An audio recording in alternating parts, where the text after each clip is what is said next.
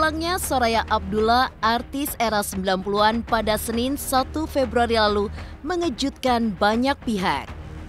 Dimakamkan di TPU Jeruk Purut, Jakarta Selatan, suasana pemakaman dipenuhi tangis haru dari sang suami, Ala El Kasas.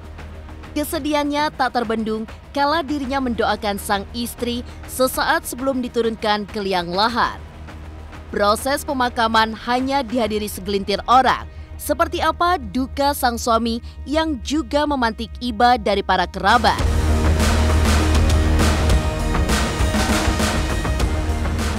Soraya Abdullah sendiri sempat jadi sorotan ketika kisah cintanya diangkat ke publik. Ya, pada tahun 2015 silam, heboh kabar seputar pernikahan Soraya dan artis Indra Brukman yang akhirnya disangkal. Memilih menikah dengan pengusaha seperti apa kisah pertemuan Soraya dan sang suami.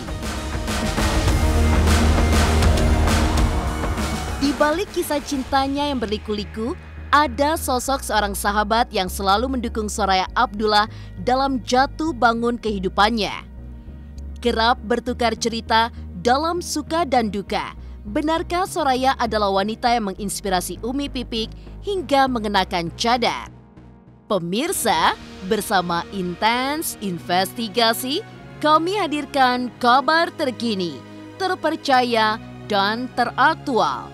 Tetapi sebelumnya, Jangan lupa untuk like, subscribe, dan juga share channel YouTube ini.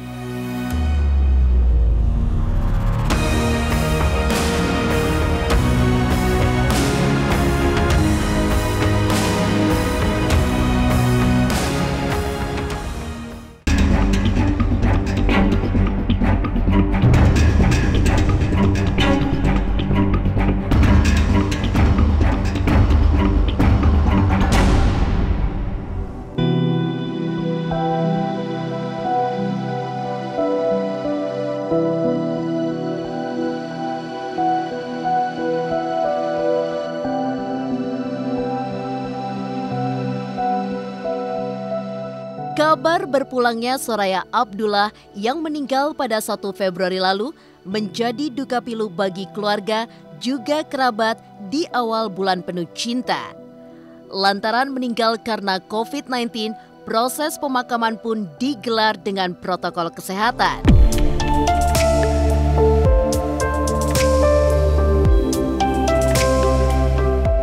Hanya dihadiri segelintir orang, tangisan suami almarhum Ala El Kasas terdengar jelas dalam doa yang ia ucapkan sesaat sebelum istri tercinta dikebumikan.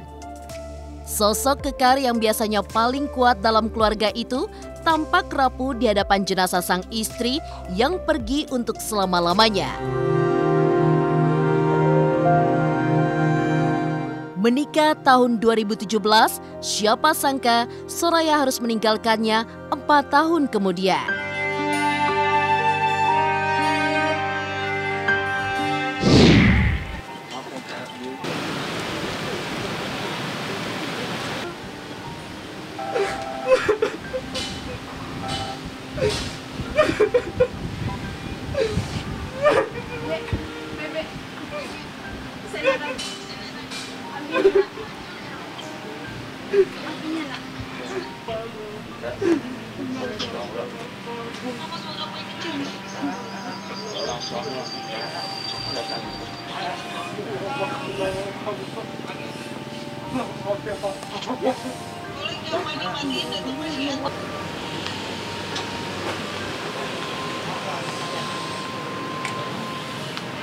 Saya Alail Qassas sebagai suami dari Umi Suraya bertanggung jawab atas hutang Umi Suraya.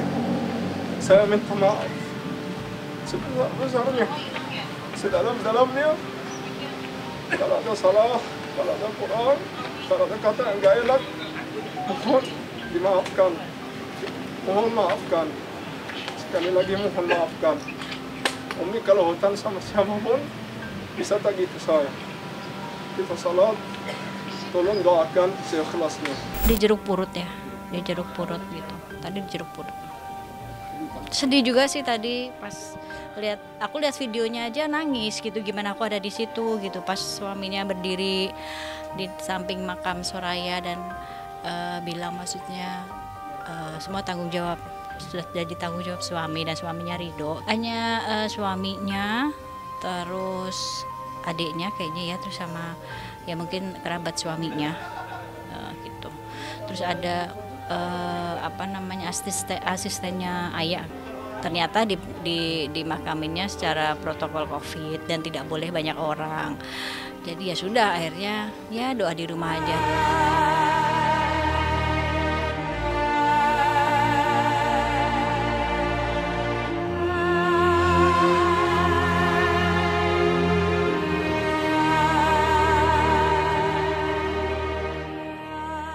Nama Soraya Abdullah mungkin terdengar asing bagi kaum milenial. Namun di era 90-an, sosok wanita tersebut begitu melejit lewat sejumlah sinetron yang pernah ia bintangi. Kini berpulang, Soraya meninggalkan seorang suami serta dua orang anak laki-laki dan perempuan. Punya riwayat asma menjadi salah satu sebab mengapa COVID-19 yang menyerang Soraya menjadi lebih berbahaya. Kurang lebih tiga minggu dirawat di rumah sakit, Soraya pun tutup usia.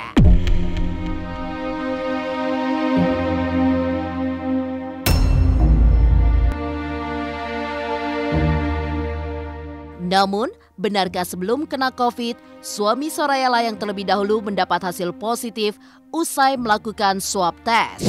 Hampir tiga mingguan ya, mungkin ya. Tadinya kan suaminya terlebih dulu yang kena dan suaminya akhirnya udah udah udah negatif gitu. Nah, terus ayah yang kena. Kemarin itu pada hari Kamis Jumat itu sudah membaik. Kamis Jumat Sabtu ya.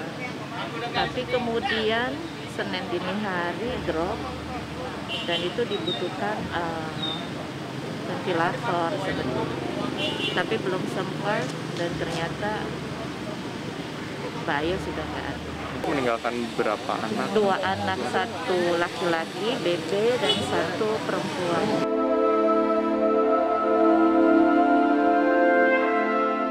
Tangis suami Soraya Abdullah tak terbendung kala harus kehilangan wanita yang paling ia cintai. Lantas, seperti apa kisah perjumpaan Soraya Abdullah dan Ala El Kasas? Pemirsa Intens Investigasi, jangan lupa untuk like, subscribe, dan juga share channel YouTube ini.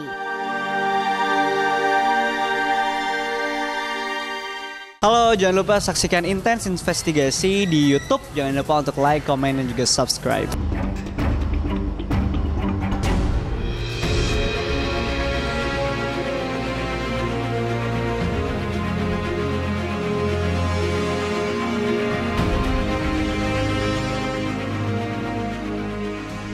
Pada tahun 2015 silam, nama Soraya Abdullah sempat menggemparkan dunia hiburan setelah kabar pernikahannya dengan Indra Brukman mencuat. Akhirnya membantah sekaligus mengklarifikasi berita yang beredar, Soraya juga minta maaf pada Indra juga Ibunda Indra yang kabarnya jatuh sakit lantaran memikirkan isu pernikahan Soraya dan putranya. Ada pernikahan nggak Suraya belum belum ada. Saya berteman aja sama Uti sama Uti Soraya berteman bersahabat baik saling mendukung support. Itu aja sih sebenarnya. Saya meminta maaf kepada beliau dan seluruh keluarga beliau khususnya ibu beliau yang sudah uh, sakit karena berita ini. Kita udah saling memaafkan apa pun yang terjadi sudah kita juga sudah menyelesaikan secara intern. Kalau kita punya masalah sebagai seorang beriman, kita yang selesaikan masalahnya. Bukan berarti putus silaturahmi. Alhamdulillah beliau menunjukin bahwa beliau seorang yang beriman. Uh, Masya Allah tidak ada putus komunikasi.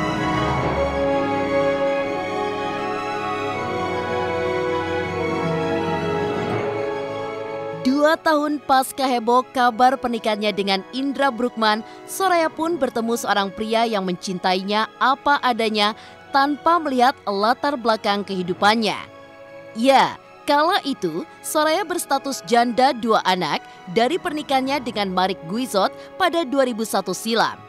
Adalah ala El Casas, pengusaha yang jatuh cinta tak hanya pada kepribadiannya, tapi juga tekad besar Soraya yang siap meninggalkan dunia hiburan demi mendalami agama dan melayani pria pilihannya. Dan benar, setelah menikah, nama Soraya pun perlahan menghilang dari industri hiburan. Beliau bilang mau dalam hitungan hari aja. Kalau saya mau nikah sama kamu bagaimana? Terus beliau langsung bawa saya ke keluarganya. Ini keluarga saya, ini apa adanya. Uh, Masya Allah, ibu beliau juga pakai nikop sama mama saya. Uh, Ab, uh, Abu ya, uh, Abu tuh bapak mertua saya juga masya Allah ya orang yang sudah paham. Jadi ketemu kita cuma berapa hari, terus dia bilang anak saya mau lamar kamu. Gitu. Jadi dimudahin semuanya. Yang bikin saya tertarik dengan Umi, udah dia ninggalin dunia media film ini dan pilih jalan Allah. Ini salah satu yang bikin saya tertarik. Bawa jamaah ke Mesir. Ya pakai pakai jasanya beliau. Uh, tahun berapa? Awal tahun ini. Langsung jatuh cinta sama saya. Orang yang sangat tanggung jawab, yang pasti di usia saya yang udah kepala empat ini uh, udah nggak bisa main-main. Saya udah punya anak dua ya, uh, jadi saya perlu orang yang sangat memahami agama.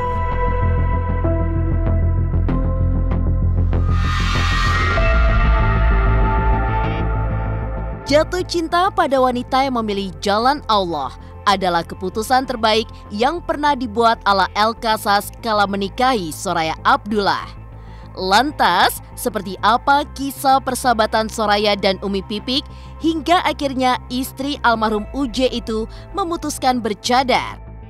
Pemirsa intens investigasi, jangan lupa untuk like, subscribe, dan juga share channel YouTube ini.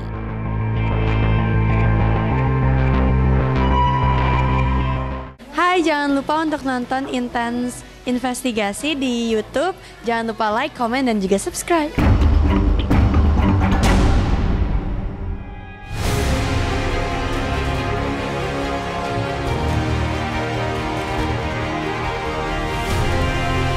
Kepergian Soraya Abdullah tak hanya ditangisi oleh keluarga yang ditinggalkan. Sejumlah sahabat dekat almarhumah juga meneteskan air mata Salah satunya Umi Pipik. Sudah lama menjalin hubungan pertemanan, bahkan jauh sebelum Soraya memutuskan berhijrah, Umi Pipik mengaku begitu kehilangan sosok wanita yang menjadi tempat dirinya meluapkan segala isi hatinya. Tangisnya pun pecah mengenang kebersamaan yang pernah dilalui berdua. Lantas, benarkah di pagi hari sebelum Soraya berpulang, perasaan hati Umi Pipik sempat bercampur aduk seolah ada kesedihan yang membuatnya harus meneteskan air mata. Firasat sih enggak ya, cuma uh, paginya sebelum Asar meninggal itu pagi itu nggak ngerti tiba-tiba saya tuh kayak sedih banget gitu. Tapi nggak ngerti sedihnya itu apa. Nggak ngerti mata saya berkaca-kaca kayak nangis sendiri gitu. Sampai teman saya nanya lo kenapa gak ngerti kok aku sedih banget ya. Tapi nggak tahu ini sedih apa gitu. Ini sedih apa aku nggak tahu kayak kayaknya pengen nangis nah. Aku nggak ngerti ya mungkin itu firasat itu ya. Tapi aku nggak saat itu nggak inget bang nggak inget nggak inget Soraya maksudnya. Karena memang aku pikir dia memang uh, sedang di rumah sakit kan. Tapi saat itu hanya pagi itu sedih yang luar biasa tapi aku nggak tahu aku ini menyedihkan apa gitu. Aku kenal dia dari dulu dari orang-orang mungkin nggak kenal orang-orang mungkin baru mengenal Soraya itu setelah hijrah ya. Kalau aku dari Soraya belum berhijab pun aku udah kenal, aku udah tahu, aku udah uh, main bareng gitu. Jadi tahulah maksudnya ya sama-sama ya istilahnya nakal dulu gitu dulu gitu dan hijrahnya bareng-bareng gitu. Jadi ya benar-benar kehilangan banget lah sosok dia saat ini uh, hadiah terindah yang saya bisa berikan ke ayah gitu uh, ya itu amalan-amalan saya mungkin gitu ya. Saat saya baca Quran pasti begitu terbuka buka Quran saya langsung uh, berdoa ke Allah ya Allah uh, bacaan Quran ini saya tujukan buat Soraya gitu. Semoga menjadi penerang kuburnya saya bacakan itu. Terus selesai sholat yang saya doa yang saya kirimkan al-fatihah pasti Soraya terlebih dahulu Pemirsa intens investigasi keputusan hijrah yang diambil Soraya Abdullah benar-benar teguh. Tetap taat agama serta tak goyah, bahkan hingga ajal menjemput, Soraya Abdullah adalah salah satu selebritis yang menjadi pelopor bagi sejumlah artis yang ingin mendekatkan diri pada sang halik. Salah satunya adalah Umi Pipik. Didapuk sebagai inspirator bagi Umi Pipik yang kini juga bercadar, benarkah cadar pertama yang diberikan Soraya Abdullah masih disimpan oleh istri almarhum Uje tersebut? Ya, cadar itu. Sampai sekarang juga masih ada cadarnya masih ada cadarnya masih.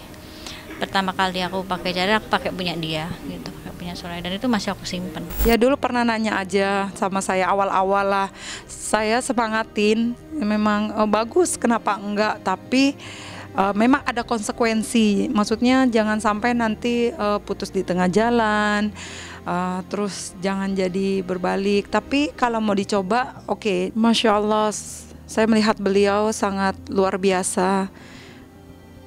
Ujian yang beliau lalui itu sangat uh, kuat ya. Tapi beliau wanita yang hebat, wanita yang bijaksana, santun, sangat kuat kepribadiannya bisa melalui semua ujian ujian itu dengan penuh kepasrahan total, dengan penuh kesabaran dan keikhlasan kepada Allah.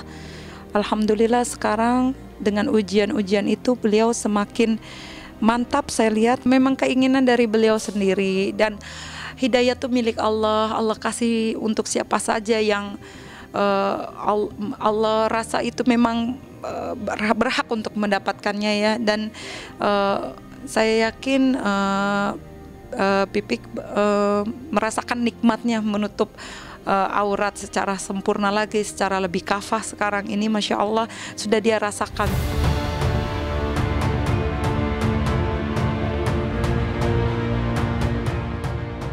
Demikian pemirsa, kabar terkini, terpercaya, dan teraktual yang kami hadirkan hari ini. Saksikan terus Intens Investigasi setiap hari Senin sampai dengan Jumat hanya di YouTube channel. Pastinya jangan lupa untuk like, subscribe, share, dan juga komen channel Intense Investigasi.